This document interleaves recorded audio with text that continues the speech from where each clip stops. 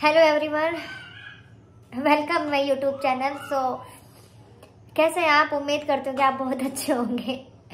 और मेरी लाइफ है, वो बर्बाद हो चुकी है एकदम।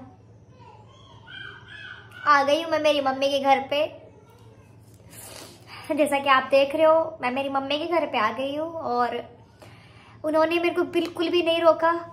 मुझे पता है कि वीडियो थोड़ा लेट हो गया है और आप लोगों को बहुत इंतज़ार होगा मेरे वीडियो का।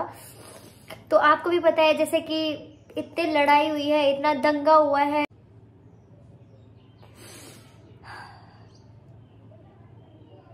मैं मेरे मम्मी के घर में आ गई हूँ।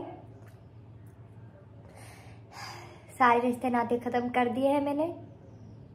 कुछ नहीं बचा अब हमारी लाइफ में। सिर्फ़ लौटने के सिवाय कुछ नहीं बचा।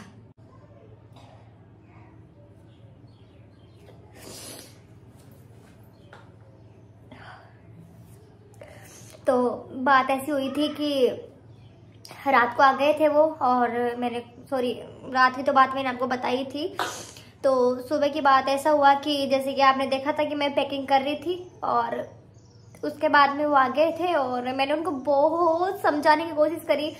इतनी मैंने उनको समझाया कि यार आप ऐसा मत करो मत करो। अपना रिश्ता खराब मत करो, लेकिन वो नहीं माने और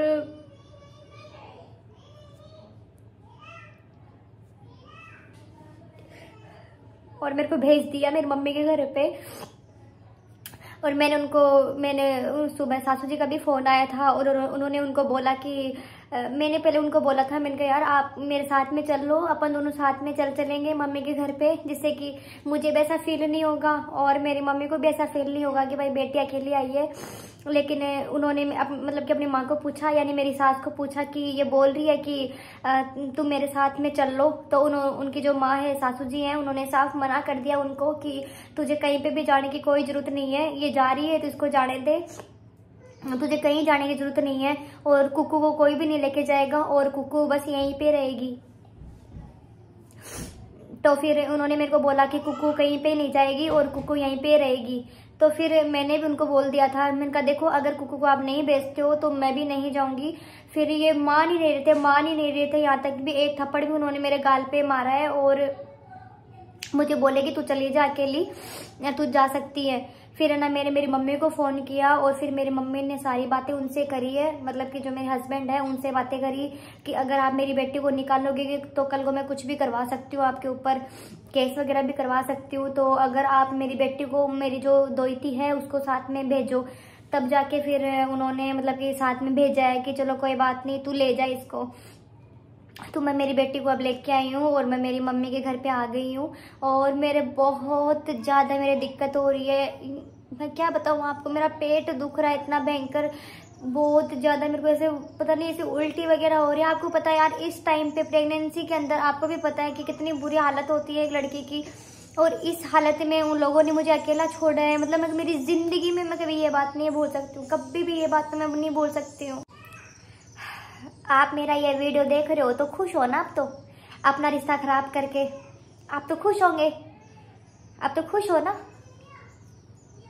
मेरी लाइफ बर्बाद करके आप तो खुश हो। खुश रहना बस। लेकिन मैं भी झुकने वाली तो नहीं हो सकती मैं भी नहीं झुकूँगी।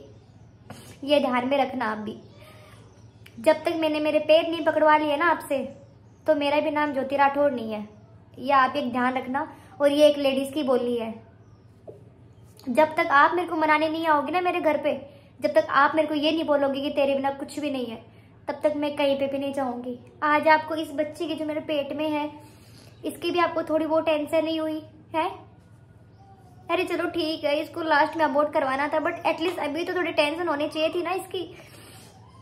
उस छोटी सी बच्ची की भी आपको टेंशन नहीं हुई, आपने हमें इतना अकेला छोड़ दिया।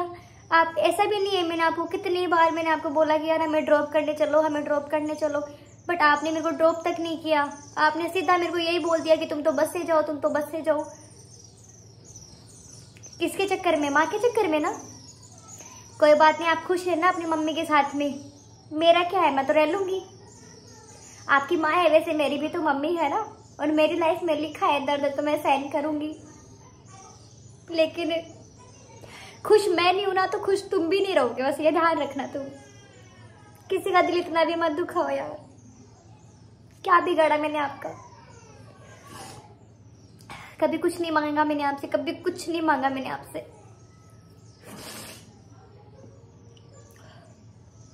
तो आप लोगों को विश्वास नहीं आ रहा होगा ना कि मैं मेरी मम्मी के घर पे आ गई हूँ? तो मैं थोड़ा सा मैं वीडियो आपको मेरी मम्मी का दिखाती हूँ। सुबह इमरजेंसी के अंदर इतनी लड़ाई झगड़े हो रहे थे, इस वजह से ये वीडियो थोड़ा मेरा लेट आया है। और आपको भी पता है कि उस हालत में वीडियोस बनाना नामुमकिन है। कैसे हम वीडियो बना सकते थे? हमारी लाइफ ऐसे दाव पे लगी हुई है और आपको पता है कि वो टाइम बहुत ख़राब था यार। ऐसा टाइम कोई की लाइफ में भी नहीं आए। तो मैं थोड़ा सा मेरी मम्मी का घर आपको दिखाती हूँ, फिर आपको ऐसा लगेगा कि हाँ भाई, अपने घर में है। तो ये देख लो, ये मेरी मम्मी का घर है। ये बगीचे वही हैं आप देख सकते हो, अभी ये भी ये ख़राब हो गए हैं। और यहाँ पे मम्मी हम चाय पिया करते थे। वही चीज़ें हैं सारी। लेकिन आज मम्मी के सामने कैसे रहूँ यार? कैसे बताऊँ उसको? वो खुद इतनी दुखी है।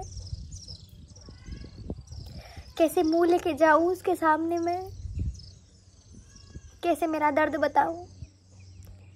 मैं मेरा दर्द केवल आप लोगों को ही बता सकती हूँ बट कैसे मेरी माँ को बोलूँ यार?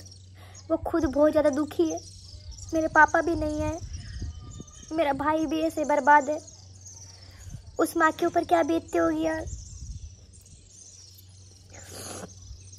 इसलिए मैं मेरा दर्द ओनली फॉर आप लोगों को बताऊँगी। और आप लोगों को बता भी रही हूँ और आप लोग मुझे सपोर्ट भी कर रहे हो।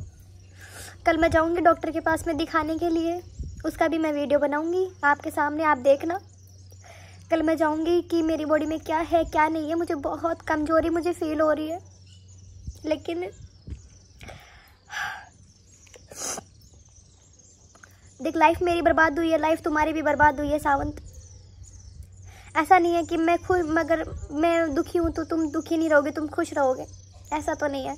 और आज लास्ट बार मैं आपको एक ही बात बोल रही कि मेरा कोई कॉल मैसेज नहीं आएगा तुम्हारे पास में। और तुम भी मेरे को कोई कॉल मैसेज मत करना। आज से तुम्हारा मेरा कोई भी रिश्ता नहीं है। सारे रिश्ते थे, वो ख़त्म हो चुके हैं। मैं मेरी मम्मी के घर पे आ चुकी हूँ। तो बस दोस्तों, मेरी ज़्यादा कैपेसिटी नहीं है अभी बोलने की। और मेरा जो भी वीडियो होगा, मैं कल आऊँगी। टाइम कोई फिक्स नहीं है। आपको पता है कि मेरी लाइफ बर्बाद हुई है अभी। तो कोई टाइम पता नहीं है मुझे कि मेरा कौन से टाइम पे वीडियो आ जाए। बस आएगा, मेरा डेली वीडियो आएगा। इतना मुझे पता है बट कब आएगा? क्योंकि कल मैं डॉक्टर के पास जाऊँगी चेक करवाऊँगी। क्योंकि मेरी हालत बहुत ख़राब हो रखी है। तो जो भी नए सब्सक्राइबर जो मुझे देख रहे हैं, उनका दिल से धन्यवाद कि आप लोगों ने मुझे सब्सक्राइब किया, मुझे मोटिवेट किया है और मुझे आप सब्सक्राइब कर रहे हो। तो उनसे मुझे कोई पैसा नहीं मिलता बट एक मोटिवेट है जो मुझे मिल रहा है। और आप दुखी मत हो ना देखो, मेरी लाइफ बर्बाद हुई है, कोई बात नहीं। कभी कभी लाइफ में दुख भी आना चाहिए, जिसे पता होता है इंसान को कि हाँ भाई, इस दुख के टाइम पे कौन अपने साथ दे रहा है, कौन नहीं दे रहा। लेकिन ये दुख का टाइम आया है, इस टाइम में मुझे कोई भी साथ नहीं दे रहा ओनली फॉर मेरी माँ। मेरी मम्मी को भी मैं आपको दिखाऊँगी। अभी मैं क्या जाऊँ यार उसके सामने? ये शक्ल लेके कैसे जाऊँ यार? ऐसे रोके तो नहीं जा सकते हो ना। कैसे जाऊँ? आप बताओ।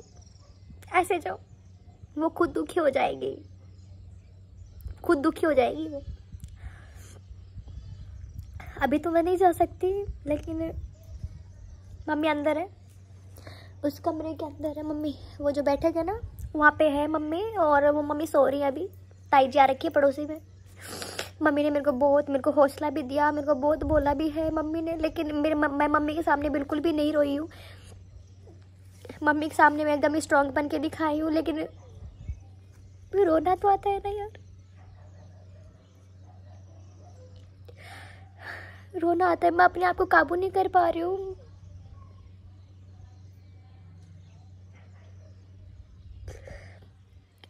कोई बात नहीं, मैं मम्मी के सामने नहीं रहूँगी और स्ट्रॉन्ग बन के दिखाऊँगी मैं अभी